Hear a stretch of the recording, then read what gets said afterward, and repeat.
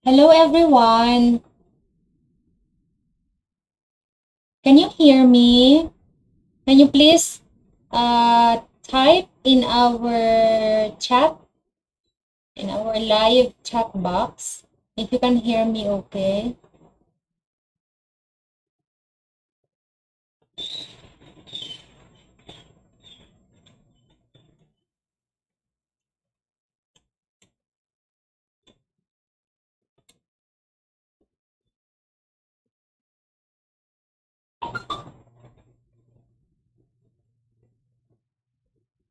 Let's wait for others. While waiting for them, mm, you may now start typing your name in our chat box.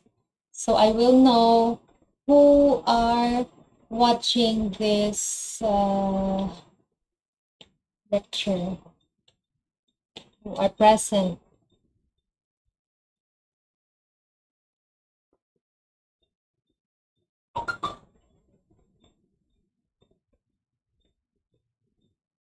Mm, I can see that there are already 12 viewers, but why is there nobody uh, chatting? I think, I think it says that chat disconnected.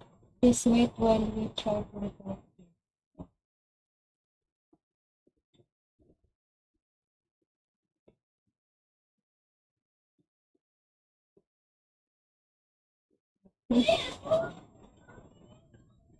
Unable to connect to chat. Please try again later.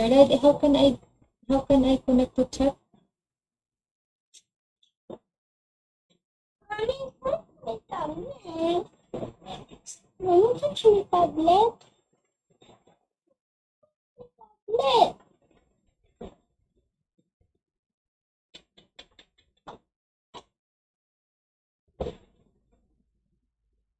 Hmm. I'm having trouble. My chat box is still not yet connected. How do I do this?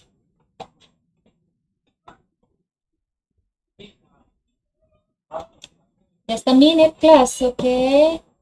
Please wait while we are also waiting for others. Just uh, stay in tune. Na, I'm gonna figure out bakit hindi makapasok sa chat. Doon sa isang ano ko, sa isang laptop ko, but in the one here, oh, meron naman. Ah, ha. Okay.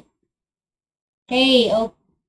Good afternoon to Renz, to Tintin, to Mary Joy, to Shara, Vivian, Jillian, Almira, Cheryl,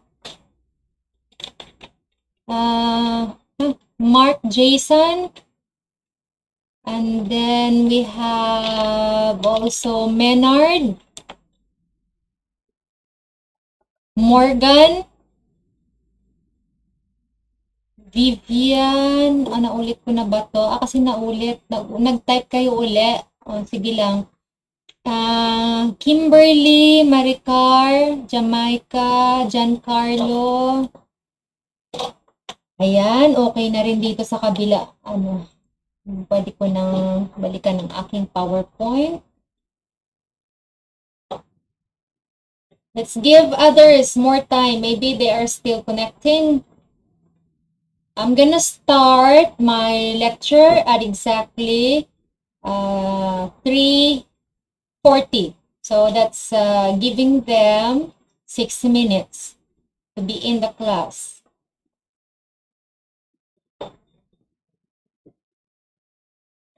While waiting, if you are not doing anything, you may prepare ball pen and uh,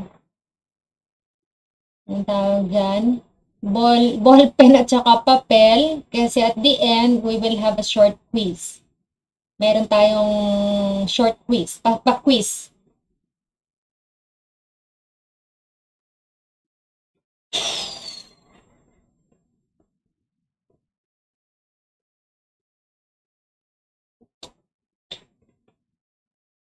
Please encourage others to log in now so they will not miss the lecture.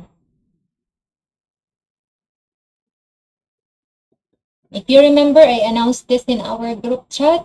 This lecture will be worth 25 points for those who will be able to attend.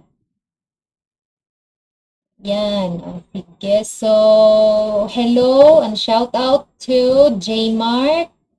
Brian, Desiree, Llewellyn,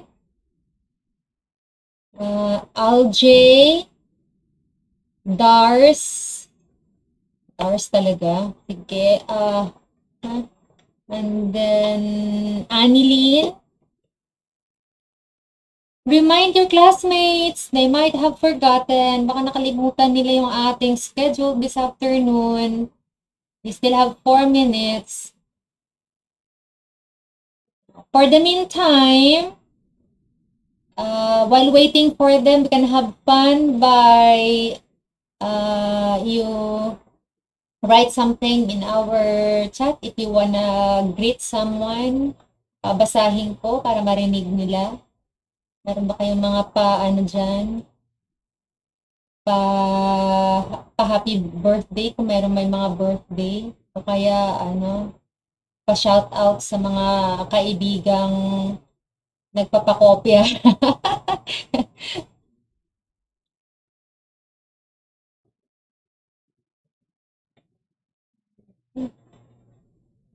so, hello to Roy and JR.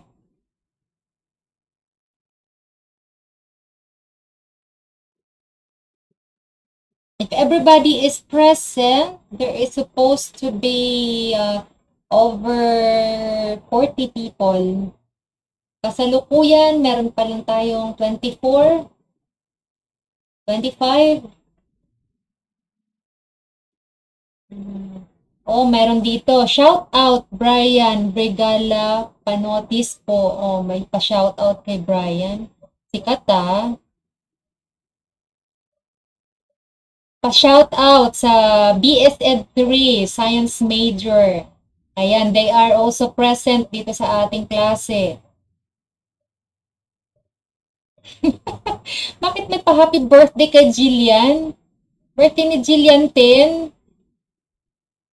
Oo, shout out sa pitong matatag na BSED Science Major. Yung iba, meron pa tayong 2 minutes before I start with our lecture.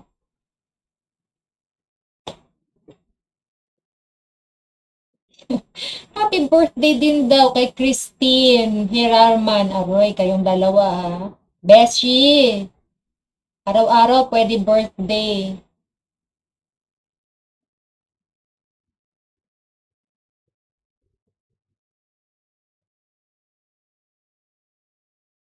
Naririnig niyo naman ako class ng maayos, no? Am I loud and clear?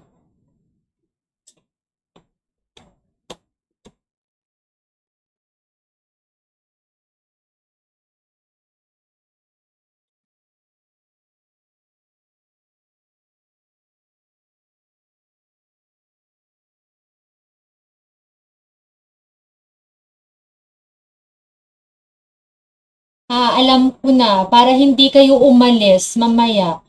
Ah,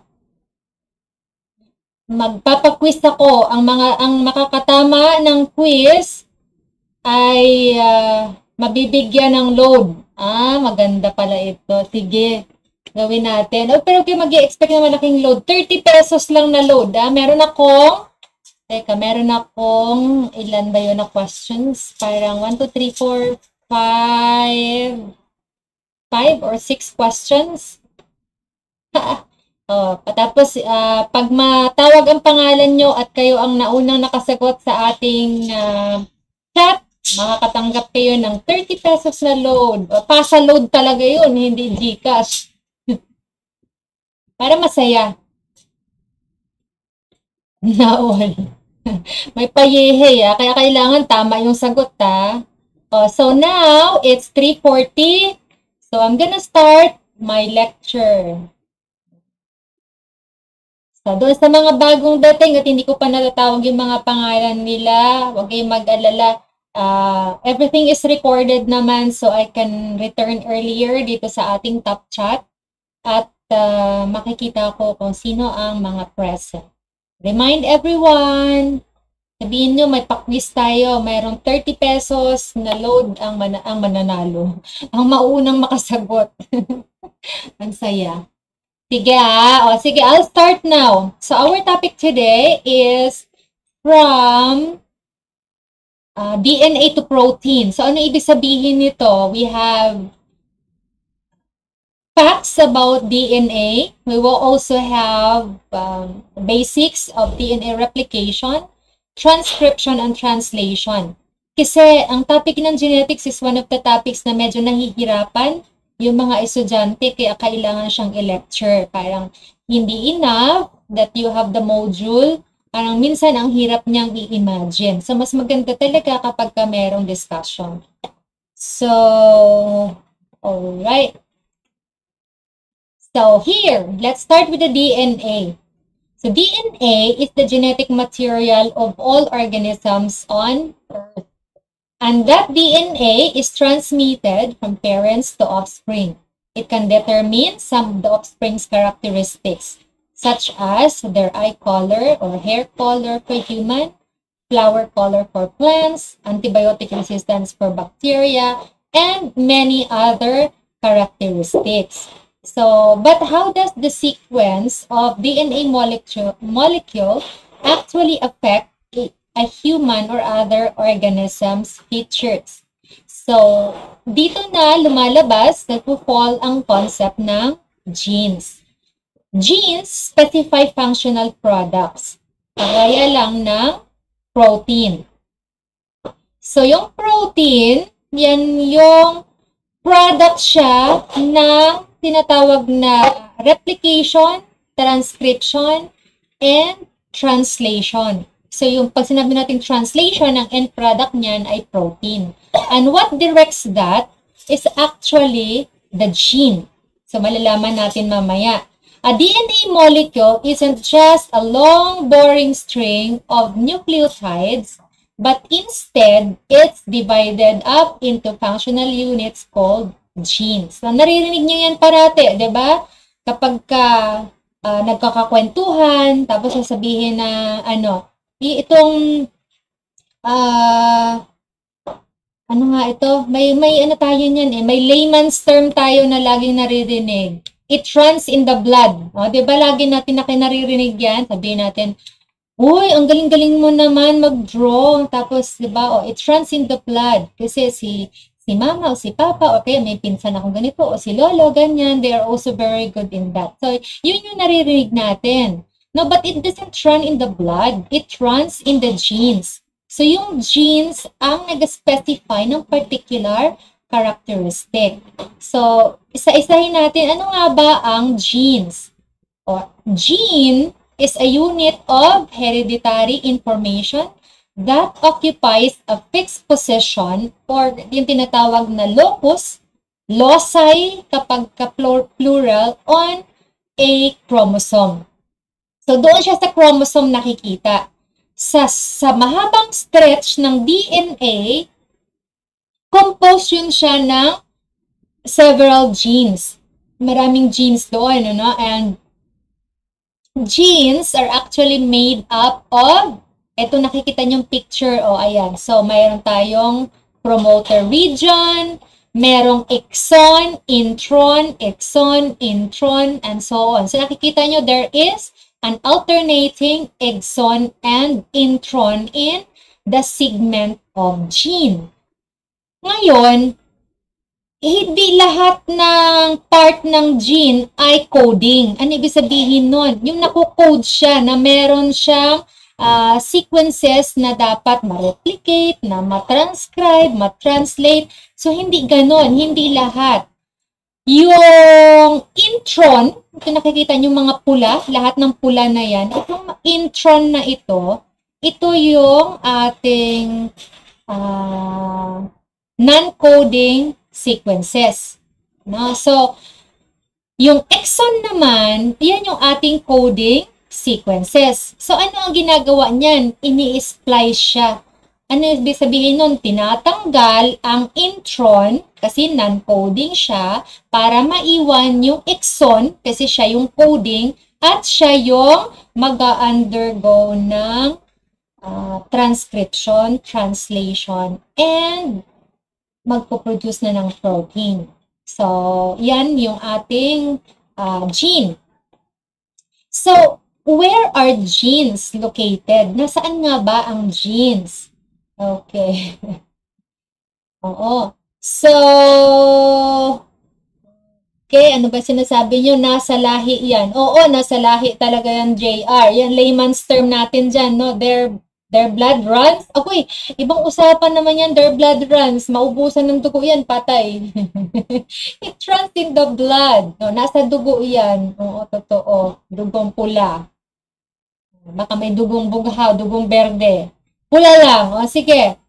So, where are genes located? In eukaryotes, such as animals, plants, and fungi, genes are contained within the nucleus. Uh, napag-aralan na natin yan, no? Sa mga basic uh, science classes natin, meron tayong uh, lessons on cell, kaya alam natin na sa eukaryote na may nucleus, ang genes, ang DNA ay nakikita sa nucleus.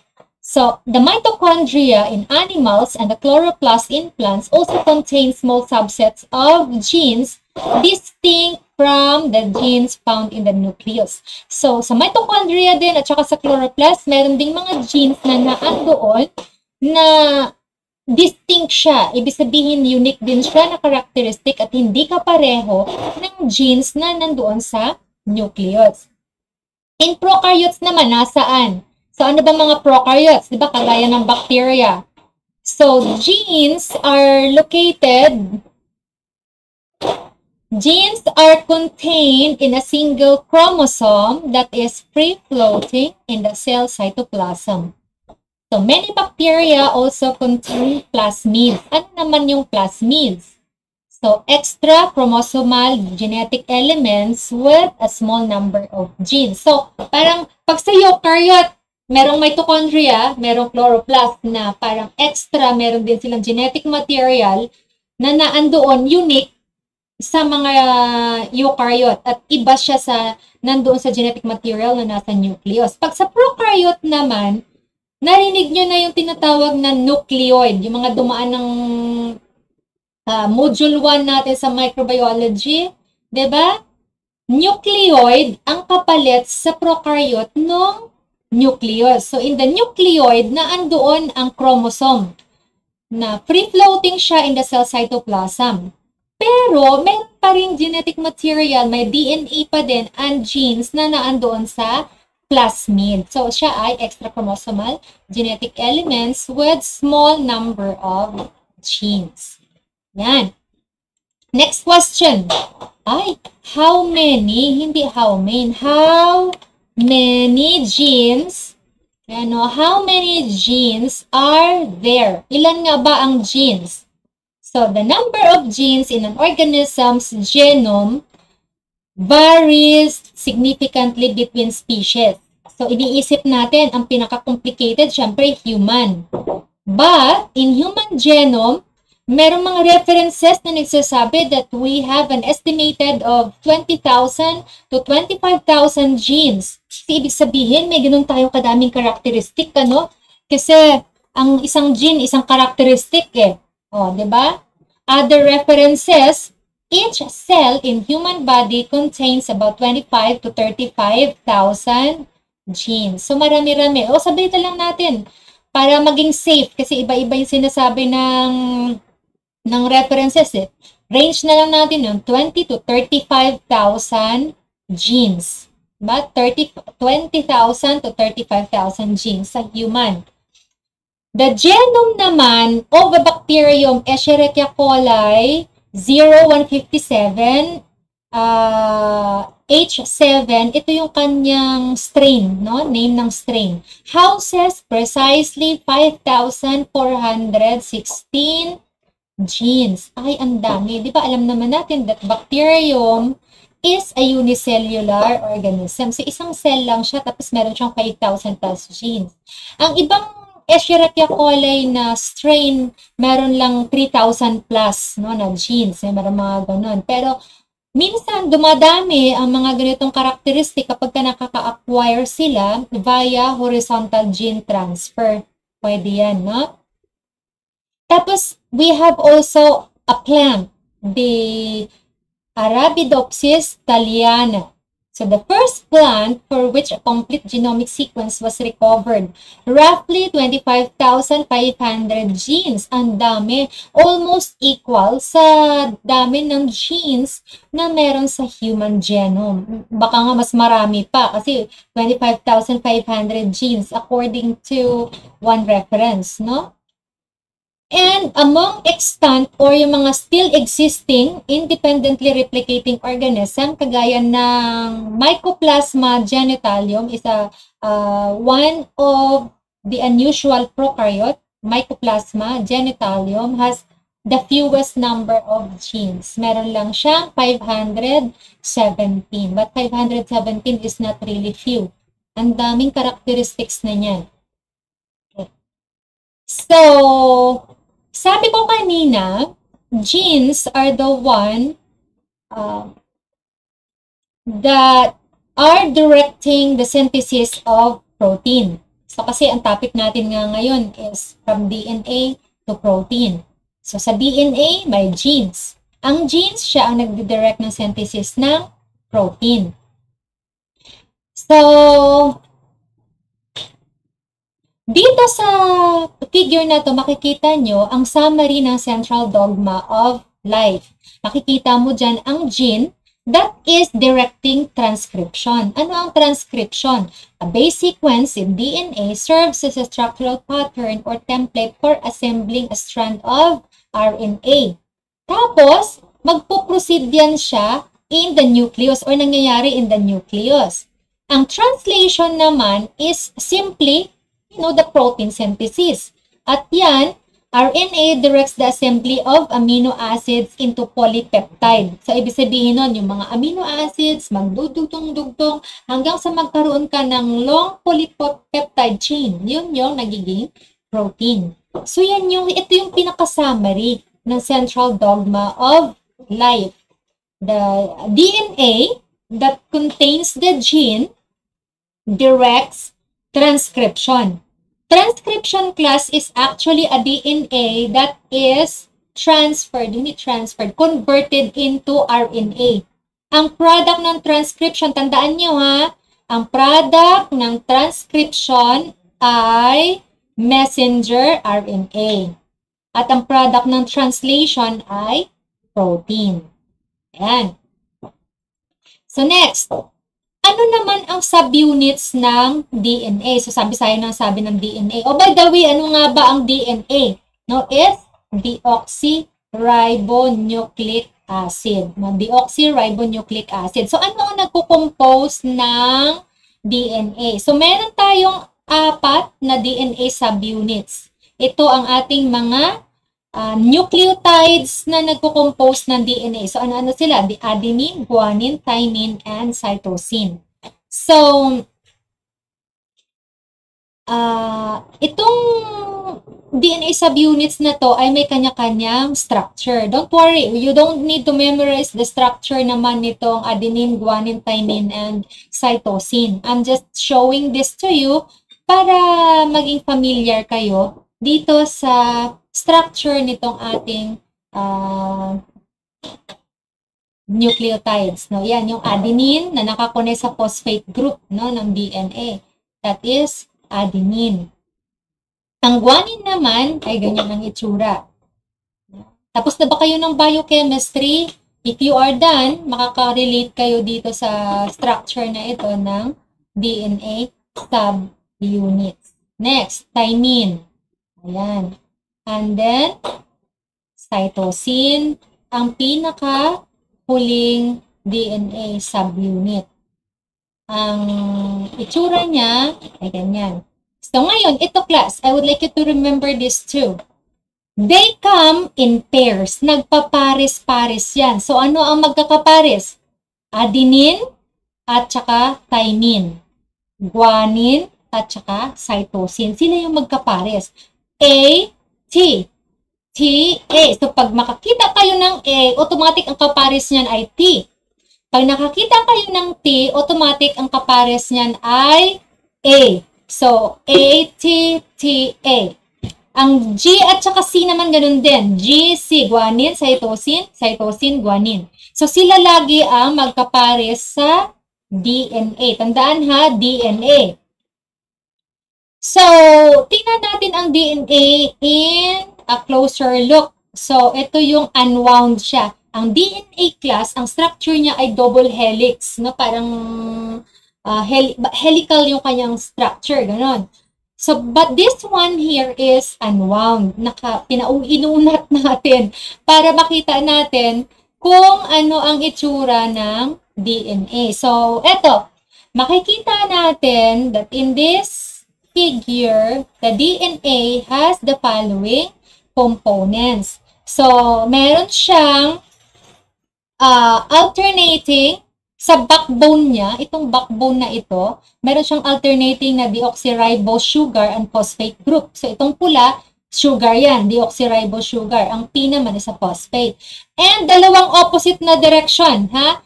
3 prime to 5 prime and 3 prime to 5 prime here. Oh, basta mag-opposite yan. 3 to 5, 5 to 3. Yan yung uh, ah, DNA natin. Tapos, ang base pairing rule, ano na nga? thymine, adenine. Between thymine and adenine, dalawang hydrogen bonds ang nagpo-hold niyan. Yan, di ba? Between purine and pyrimidine naman na guanine at saka cytosine, tatlong hydrogen bonds naman ang meron. So, between adenine and thymine, two hydrogen bonds. Between guanine and cytosine, three hydrogen bonds. So, very strong ang bonding ng molecules or ng ating mga uh, components ng DNA. Yan. So that this is our DNA unwound. Tandaan lang natin that in the DNA, merong phosphate group, merong sugar group, merong base pairing rule na adenine to thymine, thymine to adenine, guanine to cytosine, and cytosine to guanine.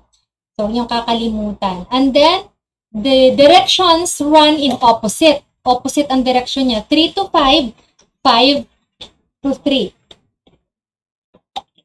So, ano ba yung sinasabi ko kanina na double helix? Yun yan. Ganito yung, yung helix, helical siya, o, oh, di ba? Helical. Kita niyo naman yung structure ng DNA. So, ano ba pagkakaiba ng DNA and RNA? Okay, DNA and RNA. This is our DNA and here is the RNA. So, pag Deoxyrib deoxyribonucleic acid, dalawa ang strands. Pag ribonucleic acid lang, isa. So that's the RNA. But still, RNA is composed of cytosine, guanine, adenine. And except the T, instead of thymine, meron na tayong uracil.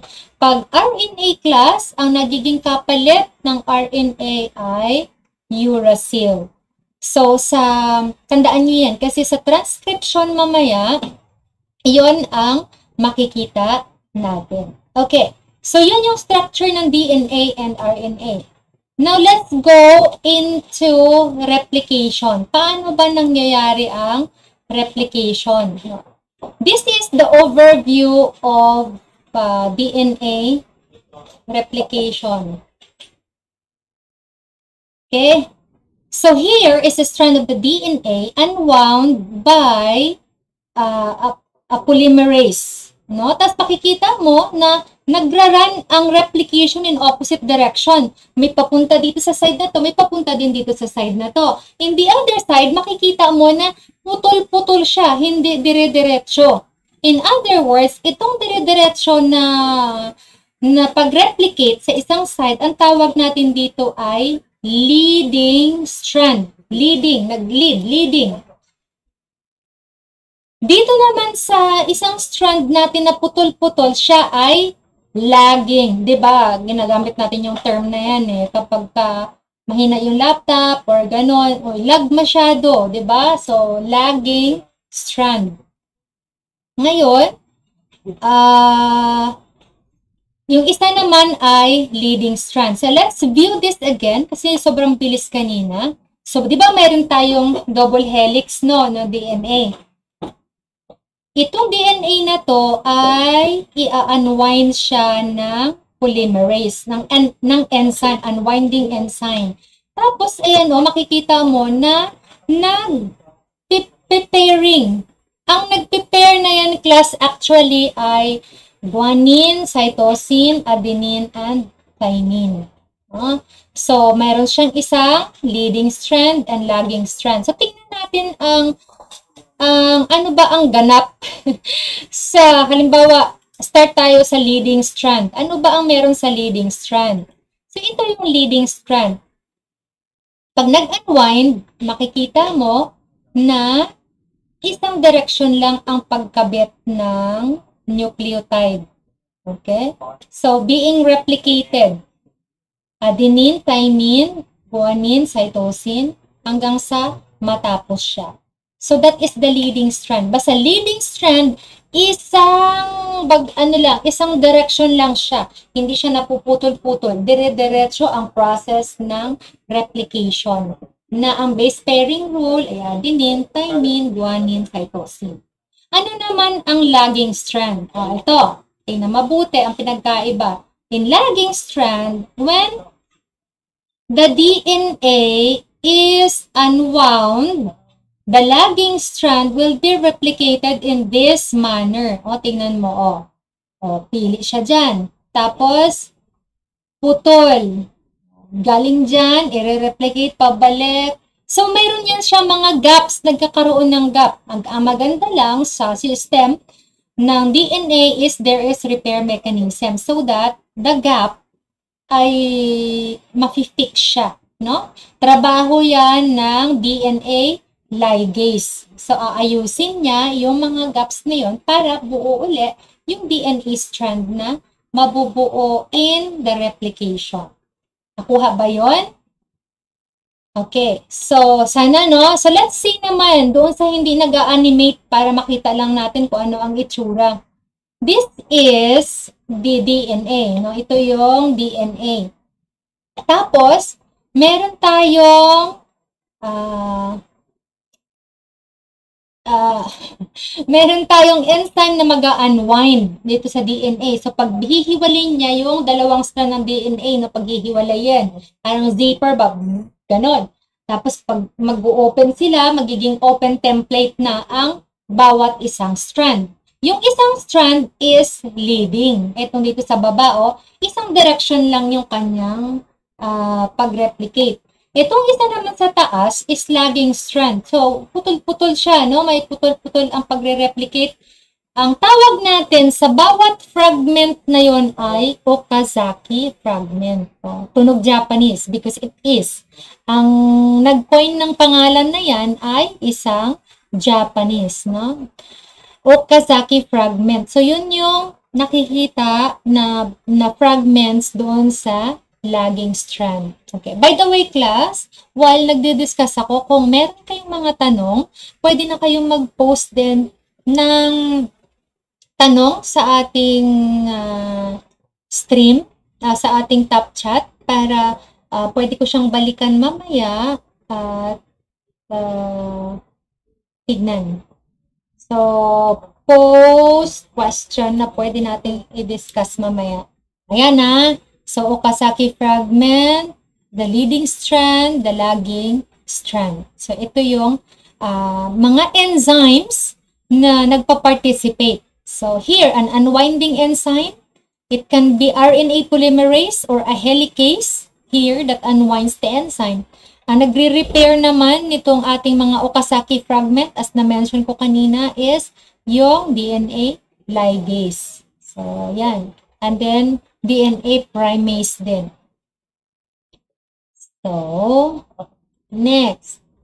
So, the, here is an example of DNA replication. So, kung may template tayo, class, na ang sequence ay T, T, T, C, A, A, T, C, G, A, C, C, uh, A, A, C, ang replicate niyan ay ito. So, sabi ko nga, T is paired with A.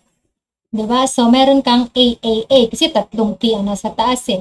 Ang C is paired with G. So, ayan. So, G, uh, C to G, A to T, A to T, T, A, C, G, hanggang sa matapos. Ganun lang lagi ang, ganun ang ganun lang lagi ang base pairing rule. So, tatandaan nyo lang yun. Pag may T, may A. Pag may A, T ang katapat. Pag C, G ang katapat niyan. Pag G, C ang katapat niyan. Basta, DNA. Tandaan nyo yan ha, basta DNA. Okay. So ito, example yan. Mamaya sa dulo, meron tayong pa-quiz na ganito ha, kung makukuha ba ninyo kung ano ang uh, pair niya o, o replicate niya, transcript niya, yan. So ito, so this is now the whole of DNA replication. So, from replication, punta naman tayo class sa transcription.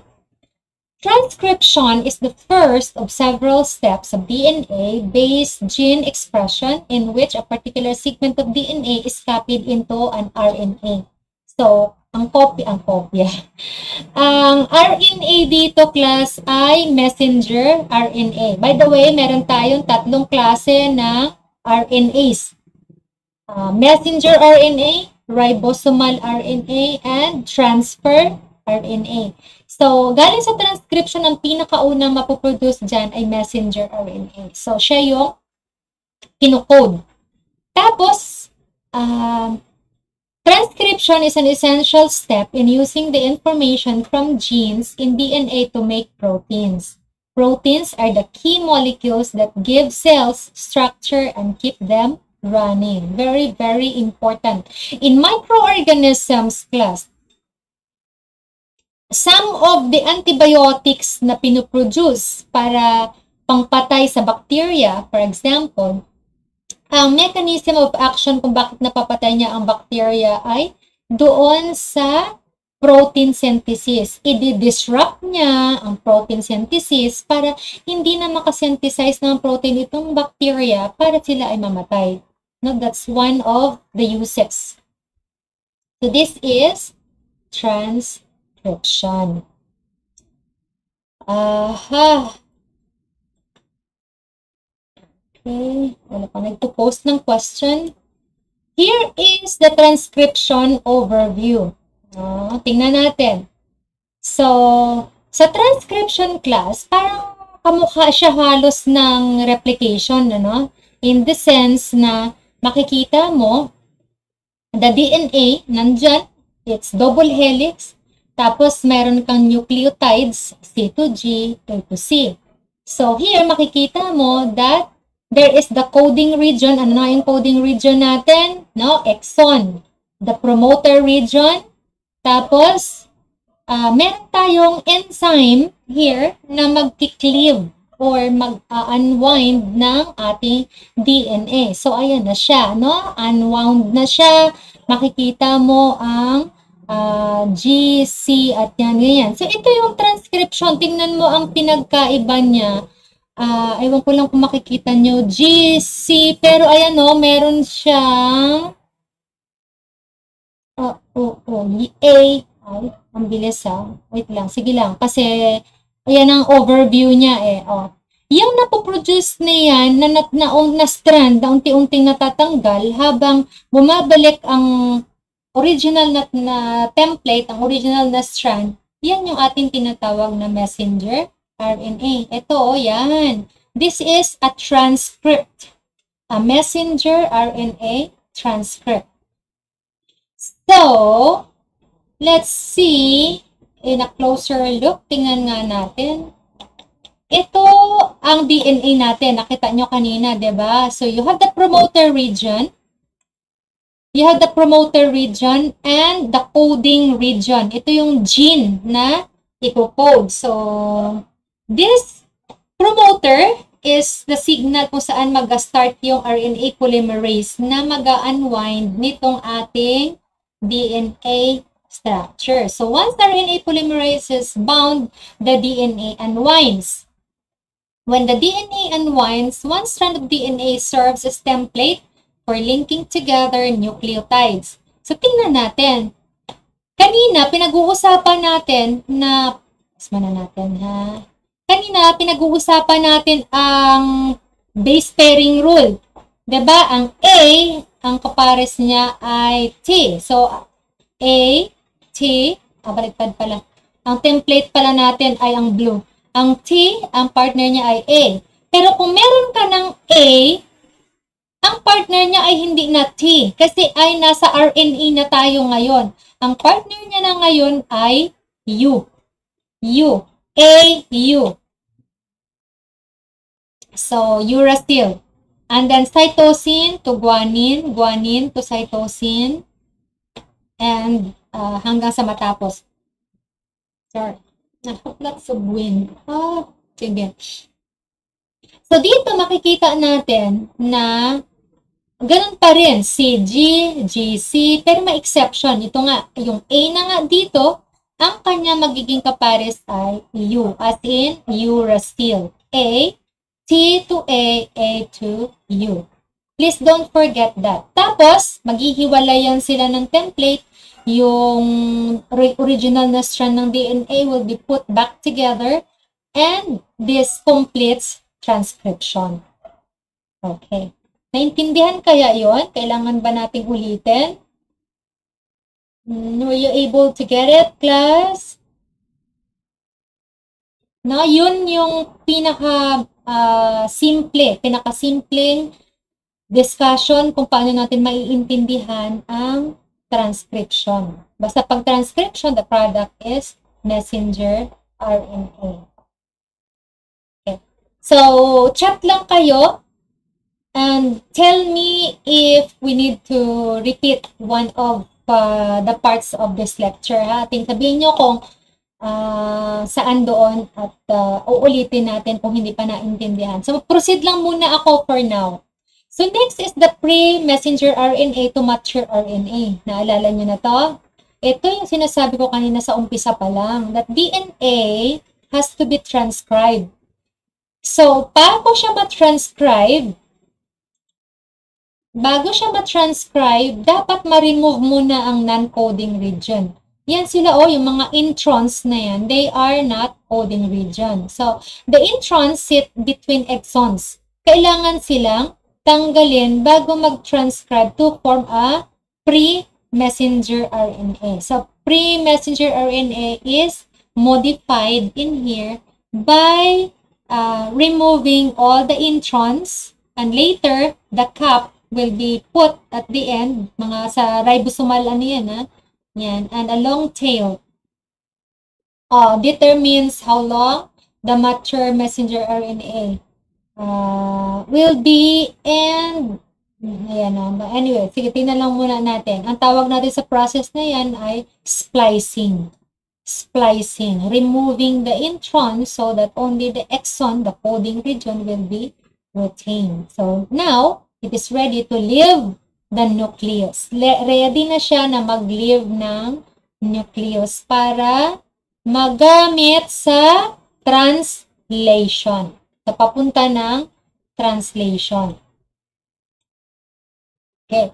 So, hindi natin maiintindihan ng husto kung ano ba ang nangyayari with transcription unless we do the uh, genetic code ito na yung ating codon, yung genetic codes natin. Ano?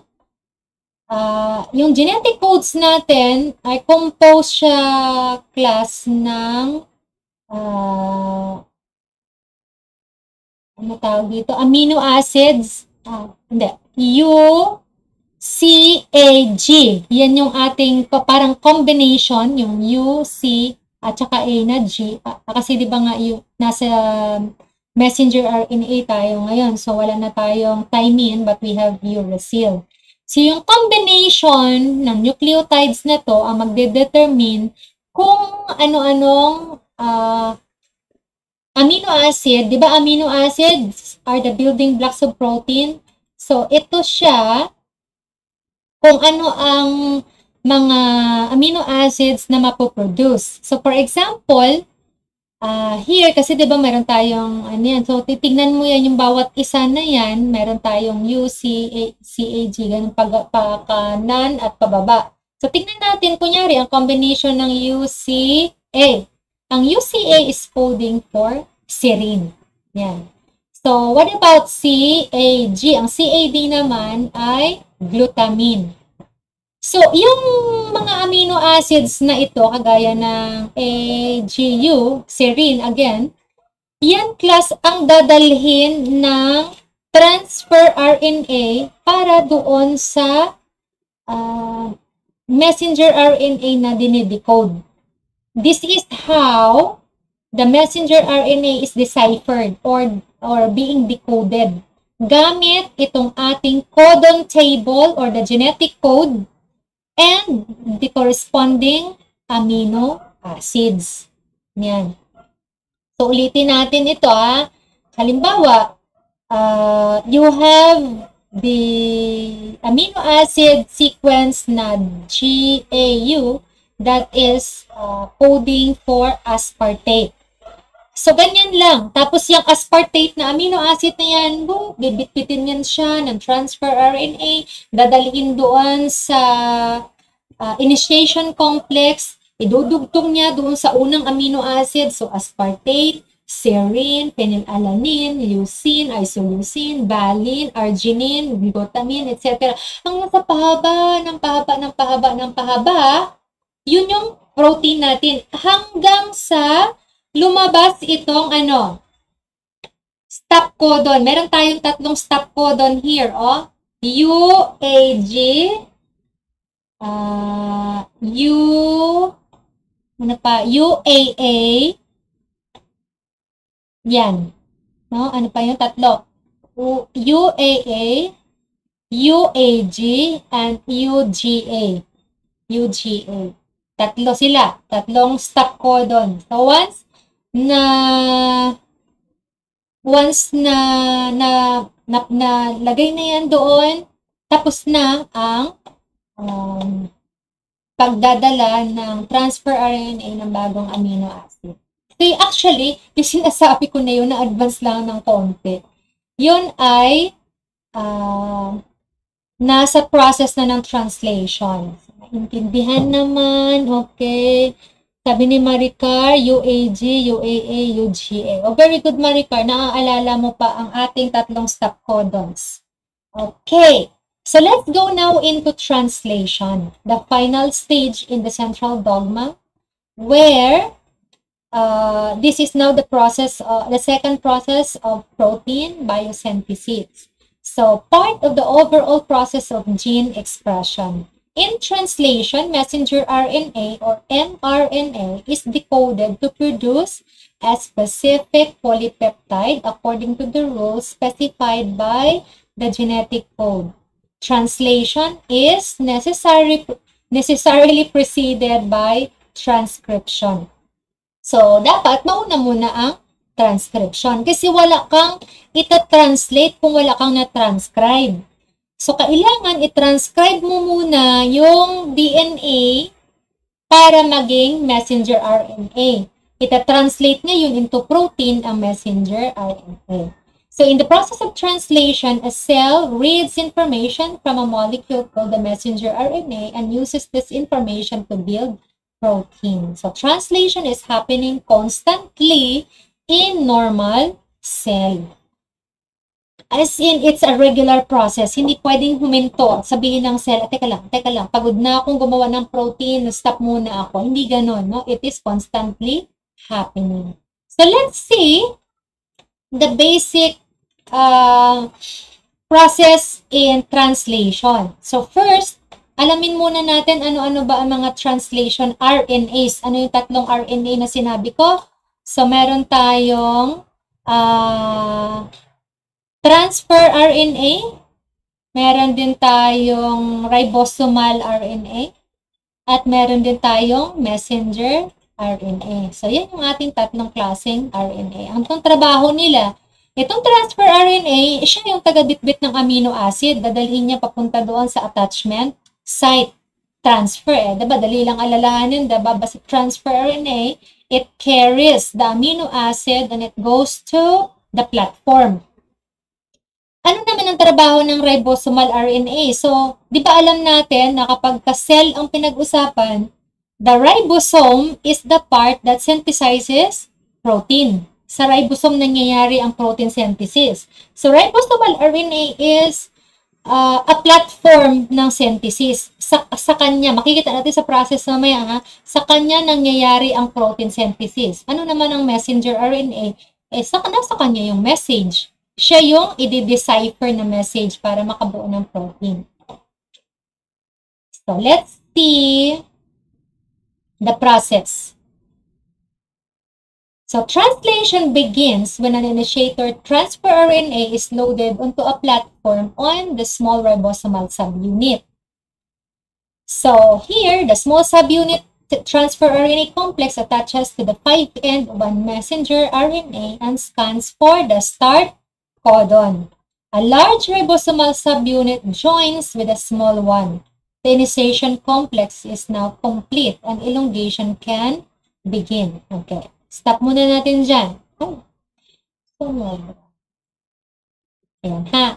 So, sabi ko nga kanina, ang role ng ribosomal, ano, ng ribosomal RNA or rRNA ay sila ang nagiging platform kung saan nangyayari ang protein synthesis. So, ayan o, This is the initiation complex. Small ribosomal subunit, large ribosomal subunit, plus the messenger RNA. Yan yung ating components ng initiation complex. So, pwede na mag-proceed. So, this is a simplified model of the binding sites at one end of the tunnel. So, doon sa sa loob ng messenger RNA, makikita natin yan, no? Ganito ang itsura. Merong A site at saka P site. So, dalawang sites. Meron ding site for binding nitong messenger RNA. and then, so the first site is for transfer RNA and the second site for transfer RNA. So assuming in this photo, makikita natin that the initiator transfer RNA, basta pang pangalan lang yan, ha? basta sinabi mo initiator, para alam natin na siya yung pinakauna na transfer RNA na magdadala ng amino acid. So, amino acid 1. Kahit ano pang amino acid yan, no? Kunyari, makikita mo na ang amino acid mo ay AUG. Ano ang ano ba yung AUG kanina doon sa ating ano uh, codon? Oh, oo nga. So, yan ay uh, usually pertaining to um, ano nga siya, methionine, no? Met methionine kasi siya ang parating uh, initiator amino acid. So ilalagay niya, no? Ipoposition niya na ng ganyan. Pagkatapos, another after this, the anticodon matches up the start codon. So ito yung start codon dito sa messenger RNA, ito naman yung anti codon. O, ayan, mga pangapangalan naman yan. Start codon, codon, codon yung tawag. Codon, codon na tuloy. Codon yung tawag ng triplets, yung tatlong nucleotide na nasa messenger RNA. Anticodon naman ang tawag doon sa transfer RNA. So, ganun pa rin yan yung base pairing rule. A to U, U to A, G to C. Yan. So, a transfer RNA can bind with the codon that follows the start codon, uh, moves into the second binding site. So, ayan, no, mayroong mes uh, amino acid 1, i-connect niya yan sa amino acid 2 via, uh, via a polypeptide chain. So, magbubuo siya ng polypeptide bond. So yan, uurong siya doon sa unang site. And the ribosomes, uh, sorry, hindi, the, the transfer RNA will bring along another amino acid. So itong amino acid na to, mag, magbabind din siya dito sa ating uh, chain ng amino acid until we have now a growing polypeptide chain. So the chain will continue growing until a stop codon is loaded into the platform. The messenger transcript and the newly formed polypeptide are released from the ribosome. Translation is now complete. So yan, so makita mo yung mahabang polypeptide chain na yun, yan na yung protein natin. So maghihiwa-hiwalay na ngayon ang small ribosomal subunit and uh, large ribosomal subunit and the messenger RNA kasi tapos na ang translation. So, yan. Yan yung pinaka-basic na principle ng translation class. Okay? Do you have any question on that? Sa sulat nyo, post nyo lang yung question and babalikan natin mamaya. So, here is the summary of translation. Protein synthesis is a two-part process that begins with transcription in the nucleus and continues with translation in the cytoplasm. So, itong dito sa loob, nucleus yan, sa labas ito cytoplasm.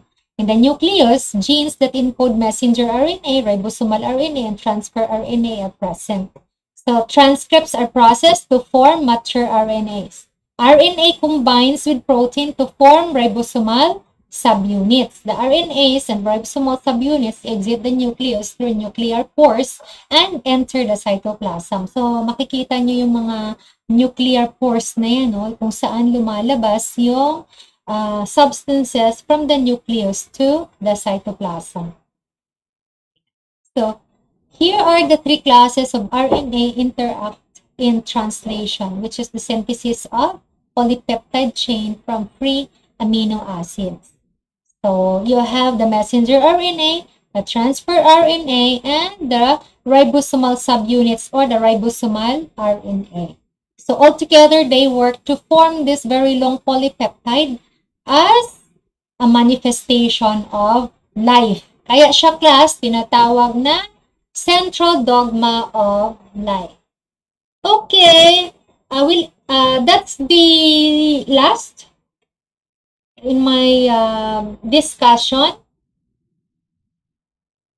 uh, sabi niya, ang complicated ng translation. Oo, sige lang, medyo complicated nga yung translation. Pero ka, katagalan, magiging gamay mo na yun, na, marin, na rin yan, Dars, no? Ma, masasanay na rin kayo. So, kaya nga paulit-ulit lang nating i-lecture para paulit-ulit mo rin lang basahin doon sa iyong module, maiintindihan mo rin yung katagalan. Basta tandaan nyo lang ng ganito ang process. Ha? Sa DNA replication, DNA lang siya, i-replicate base doon sa base pairing rule na C at saka G, T at saka A. Sa transcription naman, yung, yung DNA natin, gagawin siyang RNA. So, mapapalitan yung uh, T ng U. Wala ng thymine, but there is only uracil. Okay. Tapos, uh, sa translation naman, dito gagamit na ng genetic code. Oo.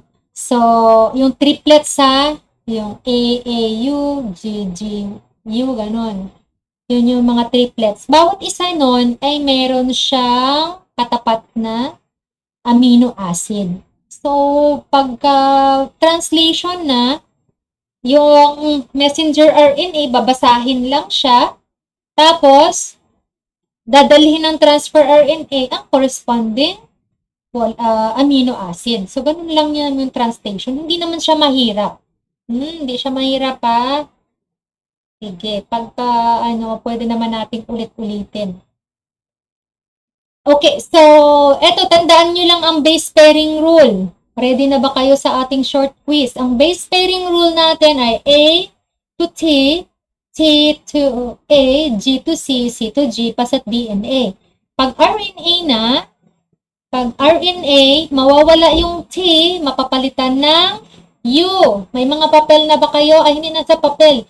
eh diretsyon yung itap, i-chat sa ating uh, box. Ready na ba kayo mga makatanggap ng 30 pesos na load sa unang makakasagot ng tama?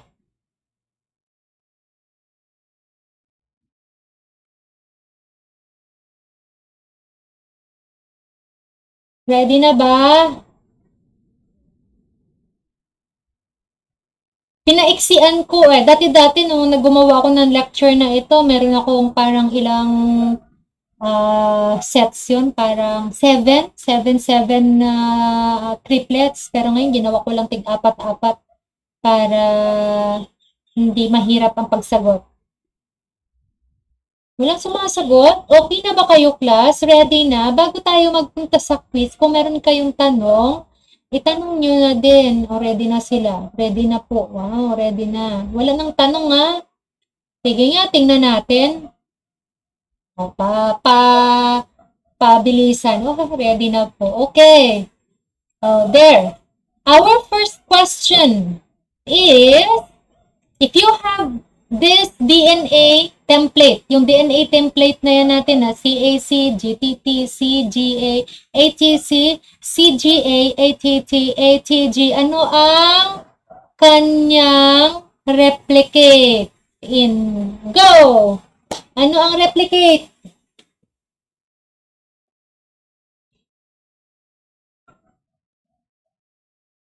Ay, nakalimutan kong paiksian pala itong unang quiz na to. Ang sagot pa naman sa baba pala nito ay maiksi na. Nakalimutan ko. Sige lang. Ma madali lang naman siyang masagot. Gulo pa ako sa translation. O mamaya na lang, Dars. Ulitin natin. O sana already. Sige lang, ulitin natin ang translation for the sake of you mamaya. Ah, uh, ano muna? Antayin natin yung sagot nito. Tingnan natin. Sino ang unang makakasagot ng DNA replicate ng CAC, GTT, CGA, ATC, CGA, ATT, ATG? Yay! Waiting! Sino na ba? Wala pa.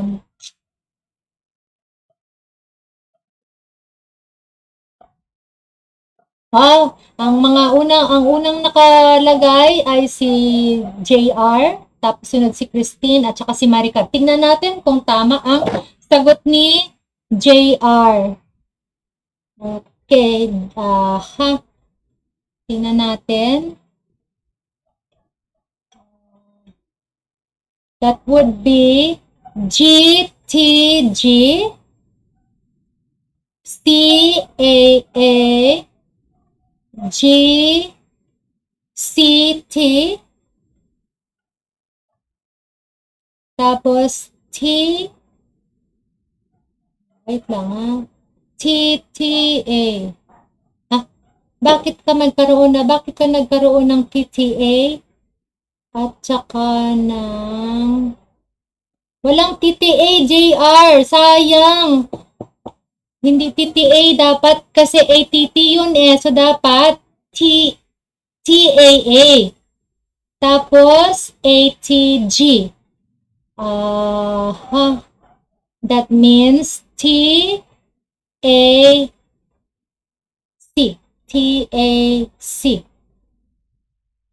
So GTG CAA GCT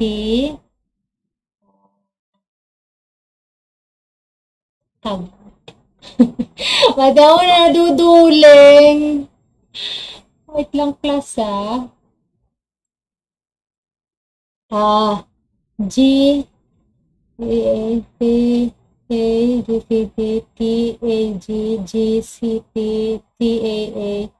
So ang ang tama nako isa lang talaga yung ano isa lang ang pinagkamali ni ni JR isang isang isang letter Mali sa akin pang-apat. Oo nga, sayang JR. So, ang tama, ang pinakauna nakatama ay si Tintin.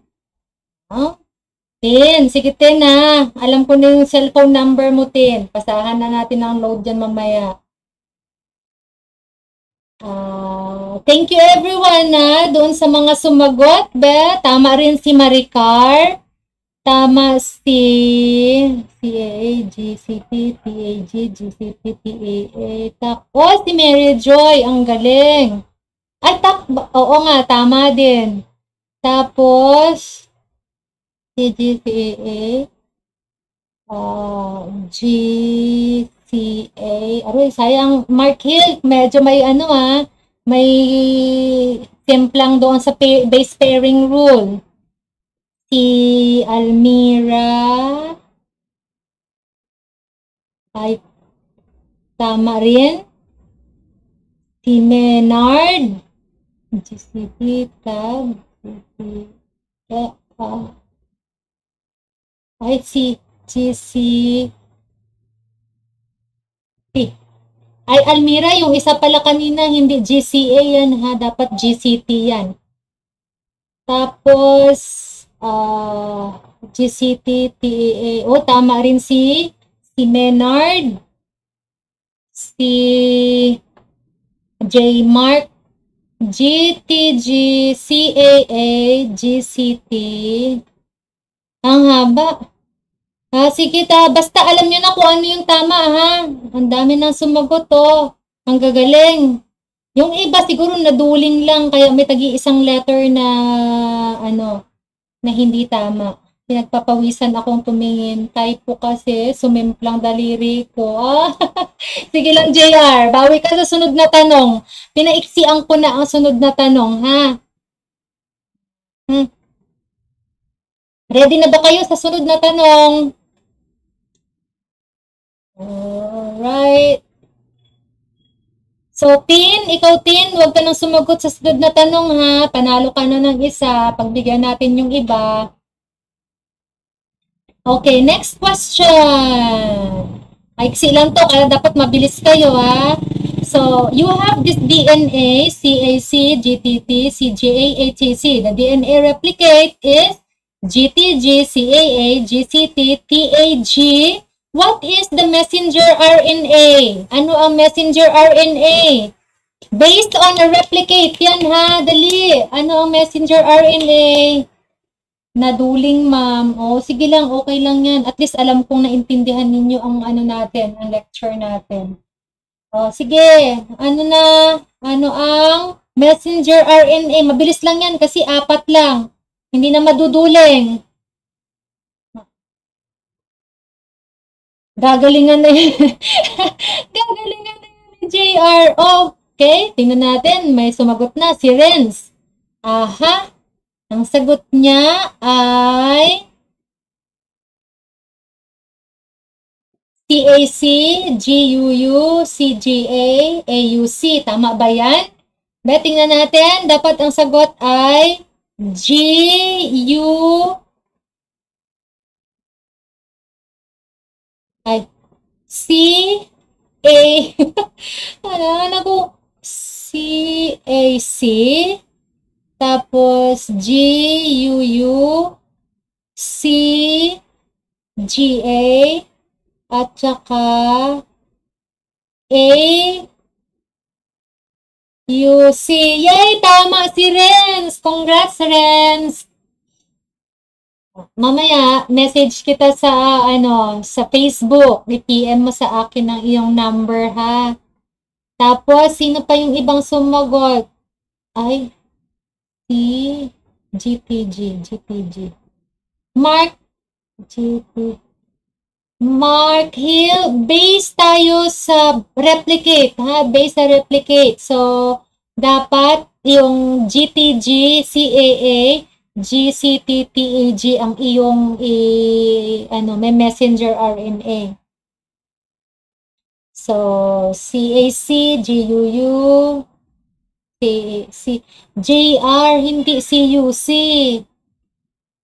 Kasi T pa yan. T, ang T, A talaga yan yung partner. Yung A lang ang U.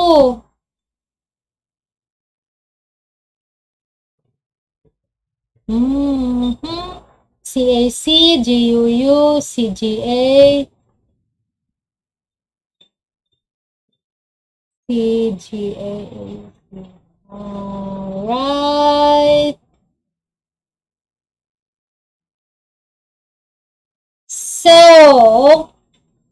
sino na nga, alam, kaya lang isulat ko muna ha. Ay, sige lang, balikan ko na lang dito sa ano mamaya. Si Renz, tsaka si Tintin. Yun. okay. So, marami naman ang tama. Marami naman ang tama. So, ibig sabihin na intindihan na kapag ka messenger RNA, uh, T will be replaced with U, as in uracil. Next question. Ready na? Next question ay sunod. Series ito kasi siya class. So, ito ang sagot doon sa tanong kanina. CAC, GUU, CGA, and AUC. Oo, AUC. C. Walang, hindi, hindi AUG Maricar ha, AUC. So, ano naman ang transfer RNA? Tignan ko nga. Transfer RNA. Transfer RNA. Ano ang transfer RNA? Sige ko, alam ko kung saan kayo magbe-base. Transfer RNA. Ano ang transfer RNA ng series na ito? Saan kayo dapat naka-base dyan?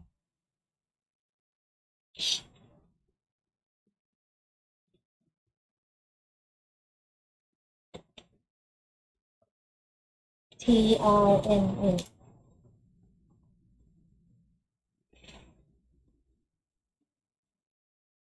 Kim, transfer RNA pa, hindi pa amino acid. Transfer RNA.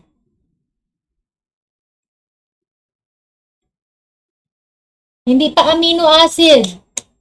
Mamaya pa yung amino acid. Luwilin. O, si Luwilin, tingnan natin kung tama ba ang sagot ni Luwilin. Ang saya pala pagka ganito. Sana sa sunod, mas marami ang maka-attend para mas marami akong ipamimigay na load. Para may pang, ano kayo, pang YouTube.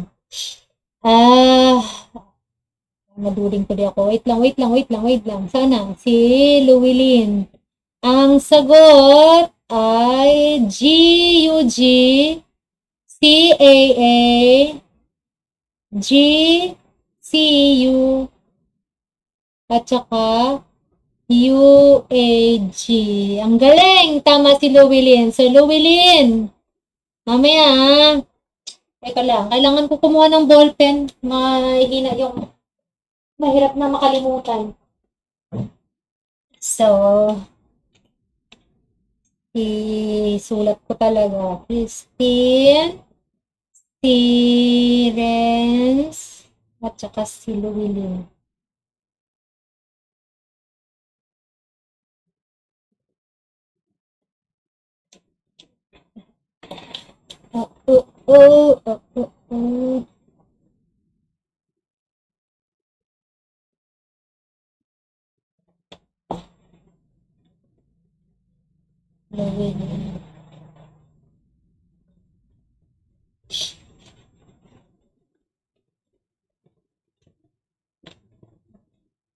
So, G, ang sagot ay G-U-G, C-A-A, G-C-U, U-A-G. Bakit ang mga nakikita ko mga pangalan na sumasagot, parang sila lang din ang sila? Nasaan yung iba? Nasaan na yung iba? Ba't hindi sila nagpa-participate? Ako, G-U-G. Oh, marami naman na nakakuha ng tama. Pero hindi, teka lang ah, Desiree, G-U-G, C-T-T. Hindi C-T-T, C-A-A. A-U. U kasi yan. So, hindi siya i-prepare sa T, sa A siya ma-prepare. Uh, okay. Ready na ba kayo sa sunod na question?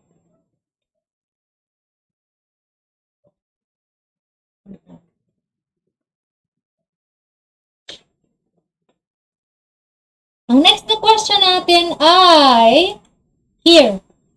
Ano naman ang amino acids? So there has to be four amino acids. Ano-ano ang mga amino acids? Tingnan ko nga kung maalala nyo kung saan naka-base ang amino acid. Tingnan natin kung tama ba ang inyong mga amino acid. Ano-ano ang mga amino acids? Apat na amino acid. Tingnan ko. May sagot na kanina si Kim eh. Saan na? Dapat ki-paste, copy-paste mo na yun kanina, Kim.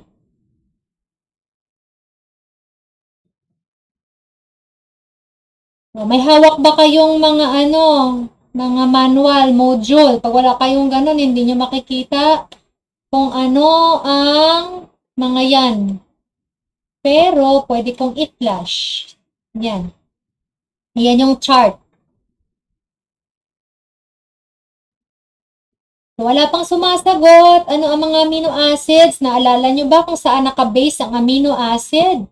Sa messenger RNA ba siya o sa transfer RNA?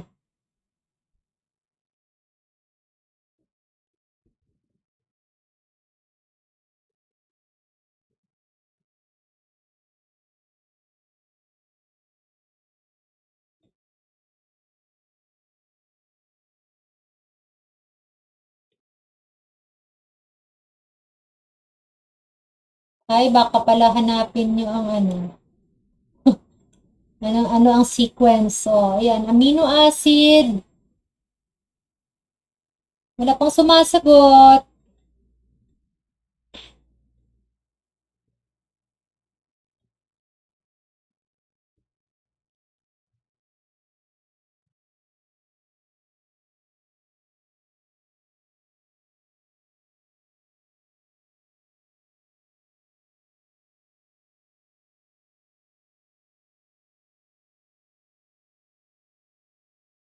Na, bakit wala nang ano, sumasagot na putol ba ang aking ano?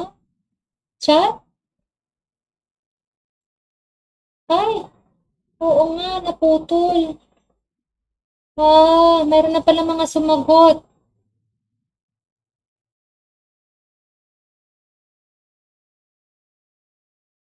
Okay. So, ang amino acids na sagot natin ay Ano sagot mo, Tin? Valin, glutamine, alanin? Ah, Valin.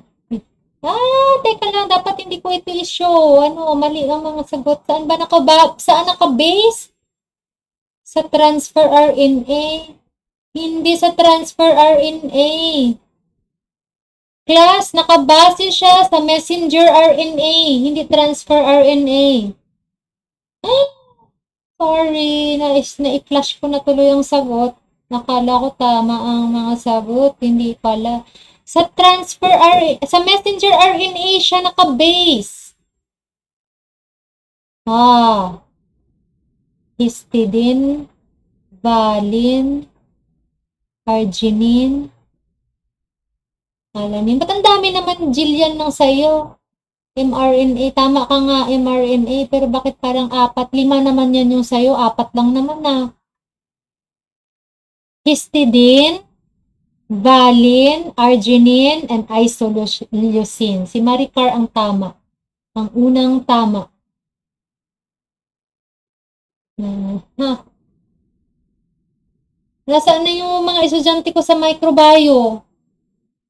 Valin. Sayang yung mga sagot nyo, hindi. Sa messenger RNA siya nakabase. Type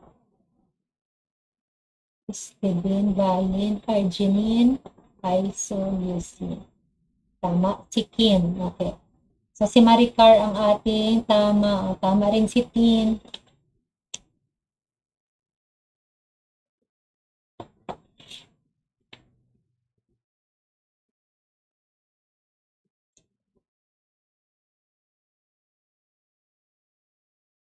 Okay. Histidine, ang tamang sagot ay histidine, valin, arginine, and isoleucine. Isoleucine. Yan, very good. Thank you.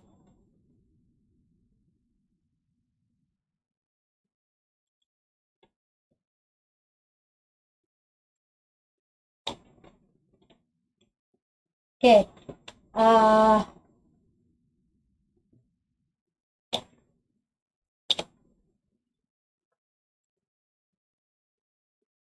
before tayo mag-end, that was, that was my uh, last last quiz, last question. Before tayo mag-end, does anyone would like to ask any question? Meron ba kayong gustong itanong? Meron ba kayong hindi naintindihan? Gusto nating ulitin? So, please remember ha, sa transfer, hindi sa transfer RNA, kundi sa messenger RNA siya naka-base. Kasi yung messenger RNA ang ating transcript. Yung sa transfer RNA kasi, ang tawag natin doon ay anticodon.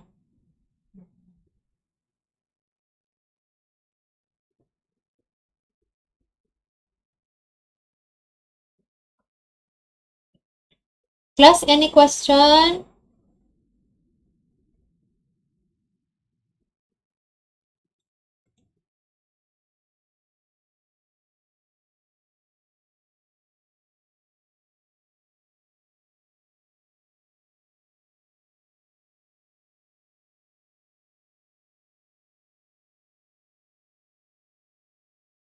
Any question, class? Wala na?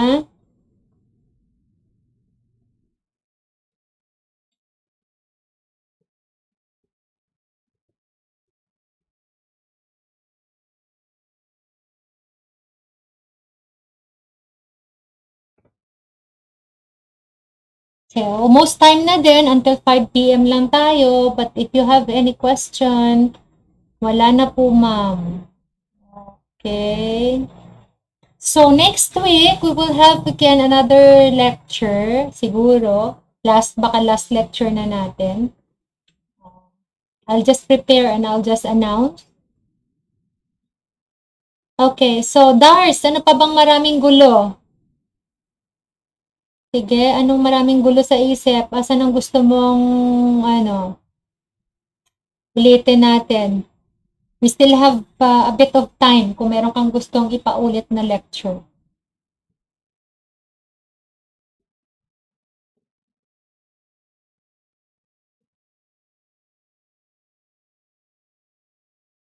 Wala na po. Sige na.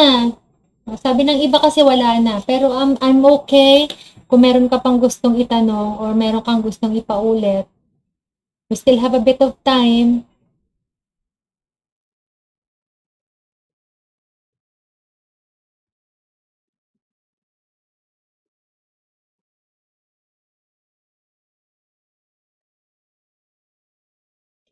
But may mga stop code na kayo. Alam ko start yun. wala nga. Wala, walang stop codon. Yung sa translation. Ah, sige. I'll just very quickly uh, discuss again translation. So, bago lang makaproceed, ito lang tatandaan ninyo, bago magkaroon ng translation, kailangan meron mo ng transcription. Ang understanding is, bago ka pumunta sa translation, meron ka ng messenger RNA. So, pag may messenger RNA ka na, kailangan mo rin yung iba pang RNAs na kagaya ng transfer RNA at ng ribosomal RNA. So, tatlo yan sila dapat ang magkakasama-sama para sa translation. So, ano ang process ng translation? So, you have the translation with an initiator transfer RNA is maluload siya doon sa platform ng small ribosomal RNA, large ribosomal RNA, at saka ng messenger RNA. So, pag nagsama-sama yan silang tatlo, ang tawag natin dyan ay initiation complex. No, dyan mag-start. So, sa loob niyan, meron tayong tinatawag na binding sites. No? So, dyan ilalagay ng uh, transfer RNA ang daladala niyang mga amino acid. So, para sa transfer RNA yan. Babasahin niya, tingnan nyo class, binabasa niya yung messenger RNA. So, may, yung nasa transfer RNA na yan, yan yung anticodon. Pero yung messenger RNA talaga, ang tinitignan kung ano ang amino acid ang dapat dalahin ng uh, transfer RNA. So, one transfer RNA comes, amino acid detaches, then the second amino acid will attach to the first amino acid. Yung messenger RNA, uh, transfer RNA mo, uurong sa unang site para mabakante yung pangalawang site para pwede uli magkaroon ng another transfer RNA na magdadala ng amino acid uli na nakakode doon sa ating messenger RNA. So, this process will just repeat and repeat and repeat para yung chain pahaba ng pahaba ng pahaba. So, pagka humaba na yan siya, tapos doon sa pinakadulo ng messenger RNA, meron doong stop codon. Pag meron ng stop codon doon, wala nang dadalihing amino acid ang transfer RNA kasi wala naman talagang amino acid na stop, ba? So magka-stop lang siya and translation is now complete. So yun. Yun yung pinaka-gist, pinaka-summary na talaga ng translation. Pero, tandaan niyo bago nyo talaga fully ma-identify or maintindihan ang translation, kailangan kabisado nyo din ang replication at saka transcription kasi parang series yan sila para maintindihan mo. Basta tandaan nyo lang, pinaka-importante ang base pairing rule natin sa DNA replication. G to C and A to, uh, uh, A to T. Tapos, pag messenger RNA na, wala nang thymine, kundi papalitan na siya ng uracil. Pagdating naman sa translation, genetic code na yung gagana.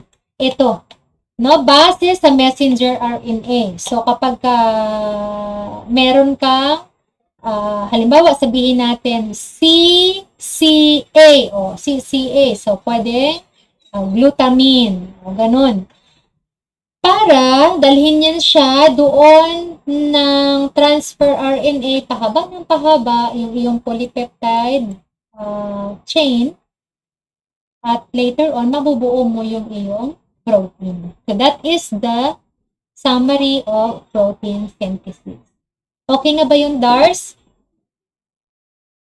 Darwin, okay na yon?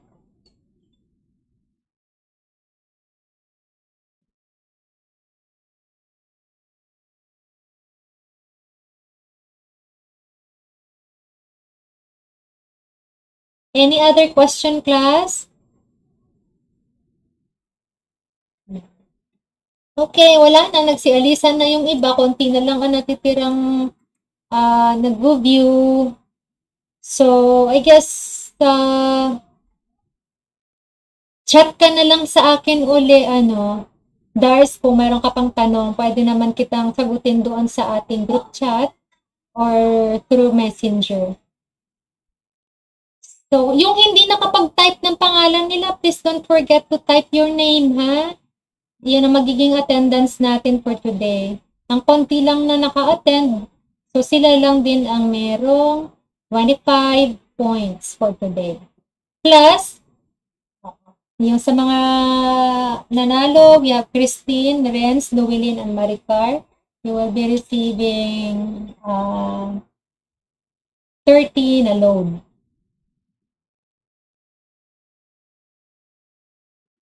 So, okay na tayo?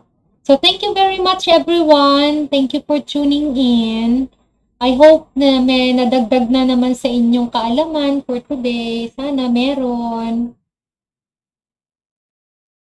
Mm-hmm. Okay. Yung iba ka pa, ka-type lang ng mga pangalan, nakalimutan siguro mag-type ng name kanina. Sige lang. Yung iba pala na nandyan at nanonood din, tapos hindi sila makapag-type ng pangalan nila dito sa ating chat, please send me a screenshot sa uh, uh, direct message na lang sa Facebook. Keep safe everyone. Thank you very much. Salamat. Bye-bye.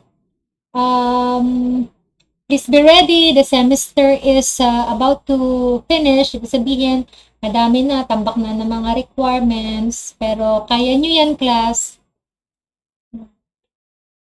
Para sa aking microbiology class, meron pang dalawang module. Pero, bibigay ko yun sa inyo, pero babawasan na natin yung number ng activity na gagawin. Hindi na lahat ng activity ay gagawin kasi medyo kulang na tayo sa time. So, bye everyone!